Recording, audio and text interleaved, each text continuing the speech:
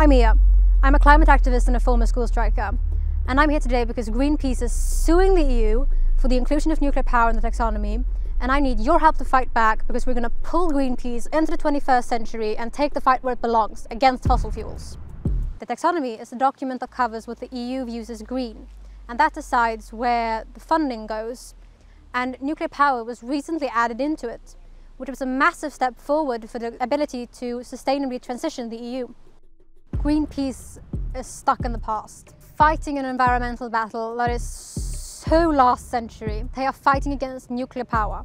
While the world is burning, they are taking a massive environmental crisis that we are facing right now and they are reducing it to a battle against nuclear power, despite the fact that really we need to fight fossil fuels with all the methods at our disposal. All I want is a fucking planet to live on. I should be fighting against the fossil fuel lobby and I do not want to have to be fighting against my fellow environmentalists at the same time. So Greenpeace, get into the 21st century, stop fighting nuclear power and take the fight where it belongs, against fucking fossil fuels.